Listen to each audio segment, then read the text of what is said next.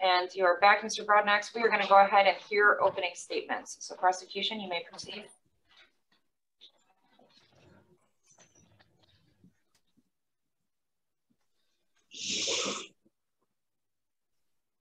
Facts are clear.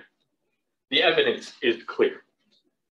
The defendant sold drugs to an undercover police officer and was promptly arrested for it. That's the facts. That's what the evidence will show. That is what the testimony will show. It is clear cut. The defendant made her bed. Let's make her lion. Good afternoon, everyone. My name is JB Fitzgerald, and I'm representing the Commonwealth along with my co-counsel, Dar Broadnax.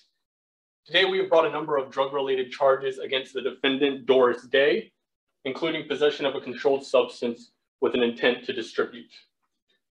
We have the testimony of Officer Don John, who will come in here today and tell you that he was working as an undercover bartender at the Shadow Bar. He was undercover there because this bar had a reputation for drug being a drug market. He also tell you that while he was there, he investigated someone in particular, the defendant, Doris Day, who had a reputation as a drug dealer. The undercover officer will get on the stand and he will tell you that while he was working undercover, he asked the defendant point blank, do you know where I can get some coke? Defendant, obliged. She's fine with it. She says, yes, I got you. Defendant comes to the undercover officer, gives him a packet of a white substance, which a crime lab technician will testify tested positive for cocaine. And the undercover officer gave the defendant a $100 bill. A simple but illegal transaction. The evidence will also show that this $100 bill actually has some significance here.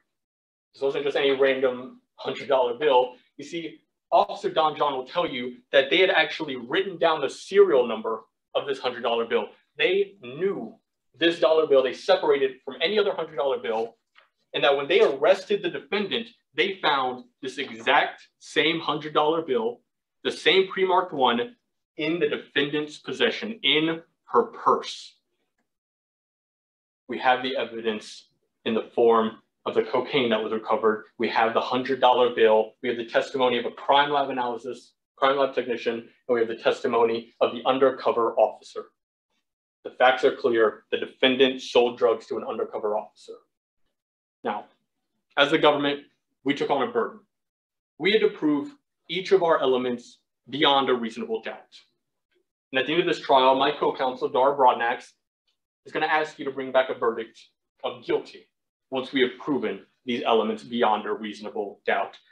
The key word there is reasonable. It's in the language. It does this burden we have. We don't have to prove our case beyond all shadow of a doubt, beyond every possibility. We only have to prove that there is no reasonable doubt as to the defendant's guilt.